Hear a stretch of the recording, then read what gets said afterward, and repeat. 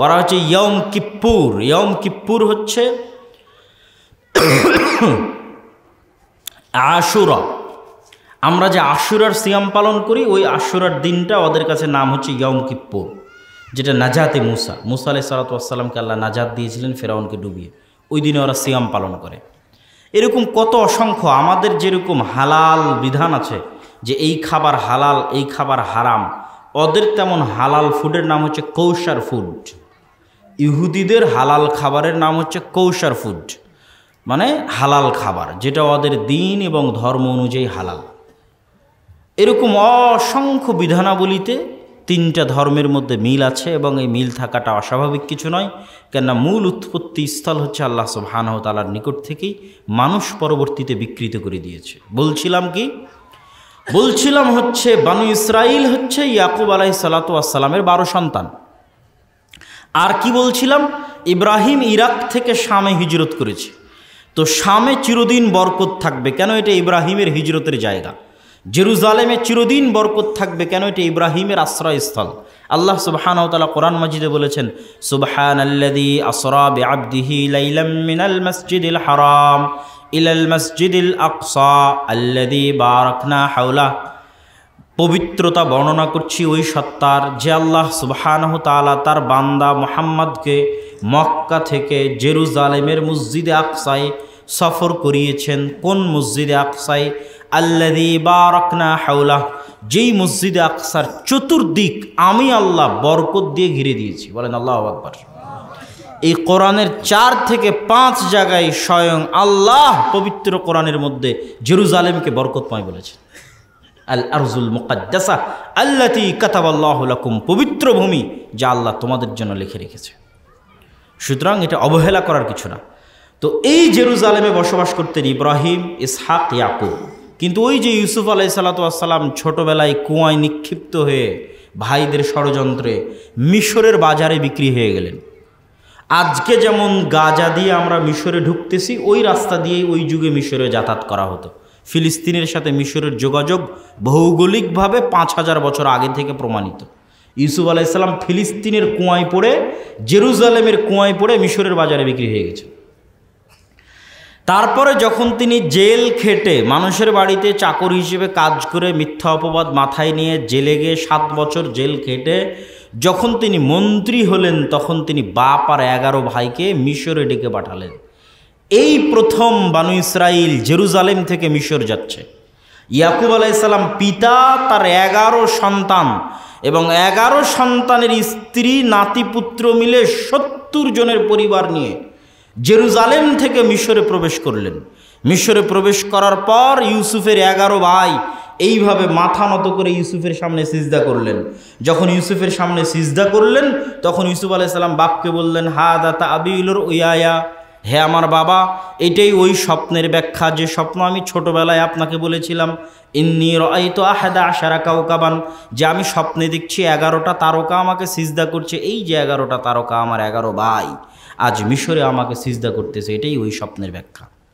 এই যে ইউসুফ আলাইসাল্লাম মন্ত্রী থাকা অবস্থায় জেরুজালেম থেকে বানু ইসরায়েল ইয়াকুবের এগারো সন্তান সত্তর জনের পরিবার মিশরে চলে আসলো। ইউসুফ আলাইসাল্লাম তো মারা গেলেন। মন্ত্রিত্ব হারিয়ে গেল, রাজত্ব হারিয়ে গেল, ফেরাউন ক্ষমতায় আসলো। তো আগের সরকারের যে জোট থাকে, পরের সরকার ওর ওপর খুব কঠোর শাস্তি চালায়। তো আগের সরকারের মন্ত্রীর দায়িত্ব পালন করেছে, সহযোগীর দায়িত্ব পালন করেছে ইউসুফ আর তার ভাইয়েরা। তো পরে যখন এদেরকে সরকার থেকে উল্টিয়ে দিয়ে ফেরাউন ক্ষমতায় এসেছে, তখন যাদের উপর জুলুম আর অত্যাচার চালিয়েছে, তাদের মধ্যে বানু ইসরায়েল পড়ে গেছে। আরও বেশি কেন পড়েছে? যত ধর্মগুরু আছে, সব ধর্মগুরু বলে যে আপনার ক্ষমতা হারিয়ে যাবে এই বানু ইসরায়েলের সন্তানদের কাছে। আপনার ক্ষমতা ধ্বংস হয়ে যাবে, বানু ইসরায়েলের কোনো সন্তান আপনার ক্ষমতা নিয়ে নেবে। বানু ইসরায়েলের কোনো সন্তান আপনার ক্ষমতা নিয়ে নেবে। ক্ষমতা হারানোর ভয়ে ফেরাউন যত ছেলে সন্তান জন্মগ্রহণ করে, সবকে জবাই করে। এই দীর্ঘ গোলামির জীবন চলেছে, ইতিহাস বলছে তিনশো থেকে চারশো বছর। তিনশো থেকে চারশো বছর। ইউসুফ আলাই সালাতামের মৃত্যুর পর থেকে নে মুসা আলাইসাল্লামের আগমন পর্যন্ত চারশো বছরের ব্যবধান। মুসা আলাইসাল্লাম তাদের মধ্যেই জন্মগ্রহণ করেছেন, যাদেরকে ইউসুফ আলাইসাল্লাম রেখে গেছেন। ইয়াকুব আলাই সাল্লাতামের এগারো সন্তানের পরবর্তী বংশধর হচ্ছে মুসা আলাইসাল্লাম মুসার হারুন, ওই একই বংশ। ইউসুফ, তারপরে মুসা, মধ্যেখানে আর কোনো নবী নাই। তিনশো এবং চারশো বছর পর মুসা আলাহ সাল্লাতাম আসলেন। তো মুসা আলাহ সাল্লামের লম্বা ঘটনা আমাদের উদ্দেশ্য নয়। আমাদের উদ্দেশ্য হচ্ছে বানু ইসরায়েলদের অবস্থা বর্ণনা করা। লম্বা ঘটনা শেষে মুসা আলাহ সাল্লাম বানু ইসরায়েলদের নিয়ে আল্লাহ কোরআনে বলছেন, ওয়াইজ নাজ্জাইনা কুমিন আল ফেরাউন আর আকায়তে বলছেন ওয়াইদ ফারাকনা বিকুমুল বাহরা ও আগরাকনা আলা ফেরাউন আমি সমুদ্রকে চিরে দিলাম তোমাদের জন্য, ভেড়ে দিলাম। তো মুসা আলাইসাল্লাম বানু ইসরায়েলদের নিয়ে পালিয়ে যাচ্ছিলেন না। মুসা আলাইসাল্লাম বানু ইসরায়েলদের নিয়ে রিটার্ন ব্যাক করছিলেন বাপদাদার আদি ভিটায় বাপদাদার আদি ভিটা কোনটা বলেন? জেরুজালেম ফিলিস্তিন। ওই যে ইয়াকুব আলাইসাল্লাম আসছিল যেখানে ইসাক ছিল ইব্রাহিম ছিল ইয়াকুব ছিল এটা ছিল জেরুজালেম। ওখান থেকেই তো ইয়াকুব আর ইসা এসেছেন মিশরে। তো আজকে মুসা আলাইসাল্লাম এখান থেকে আবার ফিরে যাচ্ছে ওখানে পালিয়ে না। আবার পুনরায় ফিরে যাচ্ছে বাপদাদার ভূমিতে এবং বানু ইসরায়েলের রেওয়ায়তে আছে। এতক্ষণ যেগুলো বলছে এগুলো কোরআনেরই ঘটনা। কিন্তু এখন যেটা বলব এটা বানু ইসরায়েলের রেওয়ায়তে। এই জন্য সত্য মিথ্যা জানি না। আল্লাহ ভালো জানে। বানু ইসরায়েলের রেওয়ায়তে আছে যে ইয়াকুব আলাই সাল্লাতামও মরার সময় ওসিয়ত করেছিলেন আমাকে কবর দিবা জেরুজালেমে। তো ইয়াকুব আলাই সাল্লাতামের কবর হয়েছে জেরুজালেমে। ইউসুফ আলাই সাল্লাতামও মরার সময় ওসিয়ত করেছেন, তোমরা আমাকে কবর দিবা জেরুজালেমে, মাটি দিবা জেরুজালেমে।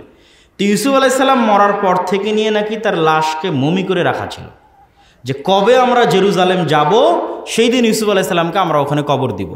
তো বানু ইসরায়েলের রেওয়ায়তে আছে, যেই দিন মুসা আলাই সাল্লাতামেরা বানু ইসরায়েল নিয়ে সমুদ্র পার হচ্ছেন, আল্লাহ বারোটা রাস্তা তৈরি করে দিলেন সমুদ্রের মধ্যে ইয়াকুবের বারো সন্তানের বারো বংশের জন্য। ওই দিন তাদের হাতে ইউসুফের লাশের মমিও ছিল। এটা কিন্তু কোনো সহি হাদিস দ্বারা প্রমাণিত নয় ইসরায়েলি রেওয়ায়াত। যে ওই দিন ইউসুফ আলাই সাল্লাতামের লাশের মমিও তাদের সাথে ছিল। তারা এই লাশের মমি নিয়ে গিয়ে জেরুজালেম বিজয় করে তারপর ইয়াকুব আলাই সাল্লামের পাশে ইউসুফ আলাই সাল্লামের কবর দিয়েছে। বাকি আল্লাহ আলম সবাব সত্য মিথ্যা আল্লাহ সুবাহতাল্লাহ ভালো জানে। কিন্তু ঘটনা যে একটা আর একটার সাথে কানেক্টিং এটা বোঝানোর জন্য আমি এটা বললাম। যে তারা পালিয়ে যাচ্ছে না বাপদাদার আদি ভিটায় ফিরে যাচ্ছে এটা বোঝানোর জন্য। যে ইউসুফের লাশ মিশর থেকে নিয়ে যাবে, জেরুজালেমে ওখানে গিয়ে মাটি দিবে, ইব্রাহিমের পাশে, ইসহাকের পাশে, ইয়াকুবের পাশে। অথচ ইউসুফ ছিলেন মিশরে। তো এই ঘটনা দেখার পর বানু ইসরায়েলেরা চোখের সামনে দেখল যে ফেরাউন ডুবে গেল এবং আল্লাহ তাদের জন্য সমুদ্রের মধ্যে রাস্তা তৈরি করে দিলেন। তারপরে মরুভূমি। আপনি আজকেও যদি ম্যাপে ঢুকেন যে মিশর থেকে ফিলিস্তিন যেতে হলে আপনাকে সমুদ্র পাড়ি দিতে হবে লোহিত সাগর। লোহিত সাগর পাড়ি দেওয়ার পর বাংলাদেশের মতো তিন গুণ তিন গুণ থেকে চার গুণ এরিয়া মিলে একটা বিশাল মরুভূমি আছে। সেই মরুভূমির নাম সিনাই মরুভূমি। এই মরুভূমি শেষ হলে ফিলিস্তিন শুরু হবে, জেরুজালেম শুরু হবে। এই মরুভূমিতে কোনো মানুষজন বসবাস করে না। এখনও করে না, সেই কালে তো আরও করতো না। তাহলে মুসা আলাইসাল্লাম বানু ইসরায়েলদের নিয়ে সমুদ্র পার হয়ে মরুভূমিতে পড়ে গেলেন। এই মরুভূমিতেই তুর পাহাড় আছে। যেই তুর পাহাড়ের ঘটনা আপনারা শোনেন, ওই তুর পাহাড় সিনাই মরুভূমির মধ্যে অবস্থিত। তো মুসা আলাই সাল্লাতামকে তার কম বলল, কোরআন মাজিদে আছে, সুরা বাকারাতে, ওয়াইজ ইস্তাসকা মুসা কৌমি ফাকুল নাজরিব বেআসা কাল হাজারা ফাং ফাজারাত মিন হুসনাতা আশারাত আইনা, কদ আলিমা কুল্লু নাসিম মাশরাবাহুম। যখন মুসার কম মুসাকে বলল যে মরুভূমিতে পানি কোথায়? পানি কোথায়? সমুদ্রের লবণাক্ত পানি আমরা খেতে পারি না, আর মরুভূমিতে পানির ব্যবস্থা নাই, তোমার আল্লাহকে বলো, সুমিষ্ট পানির ব্যবস্থা করে দিতে। তখন আল্লাহ সুবাহানতালা কোরআন মাজিদে সুরা বাকারায় বলছেন, আমি মুসাকে বললাম, তোমার হাটের যে লাঠি আছে, এই লাঠি দিয়ে পাথরে আঘাত করো। মুসা আলাহিসাল্লাম লাঠি দিয়ে পাথরে আঘাত করলেন, ফান ফাজারাত মিন হুসনাতা আশারাতা আইনা। ওই পাথর থেকে বারোটা ঝর্ণাধারা প্রবাহিত হলো বলেন আল্লাহ আকবর। বারোটা কেন? ওই যে ইয়াকুব আলাইসালামের বারো সন্তান। সমুদ্র যখন পার হয়েছে, তখনও বারোটা রাস্তা তৈরি হয়েছিল। পাথরে যখন বাড়ি দিল, তখনও বারোটা ঝর্ণা। ইয়াকুব আলাইসাল্লামের বারো সন্তানের সম্মানে, বানু ইসরায়েলের সম্মানে।